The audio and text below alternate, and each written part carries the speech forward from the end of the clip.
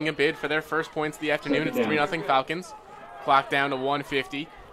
Laviano takes the snap, hands it off to Malik Pierre, who's got room to run down the left, gets a block, and he walks into the end zone for a touchdown for the Pioneers.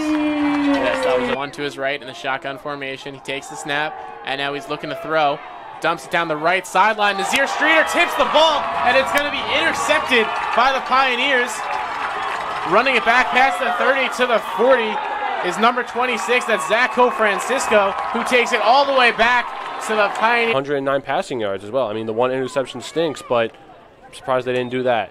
The punt is blocked in the end zone, and it's going to be picked up for a touchdown. That's Jake Carlock with the block, and the Pioneers just blocked a touchdown. Blocked oh a punt in the end zone. Oh my goodness! Oh my goodness! On that. Campbell out on the field in the tight end position. Two receivers to the right. Dion Mash to the left with Campbell. Laviano takes the snap. Looking in Campbell's direction, now switches to his right side, now jogs off to the right side, scrambling in the pocket, throws one deep into the end zone. A beautiful catch by Mike Richardson for a touchdown. So Laviano now taking the snap, dumps it over the middle. He's got Marnin for a gain here. He makes a man miss and walks into the end zone. A beautiful cut after he breaks Derek Perkins' ankles and walks in the end zone. Laviano in no hurry with his eye on the clock.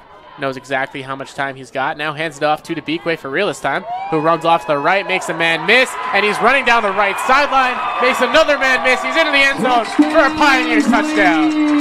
Oh, that was a beautiful design play there by the Pioneers. Look, there's no flags on the play, so that one's.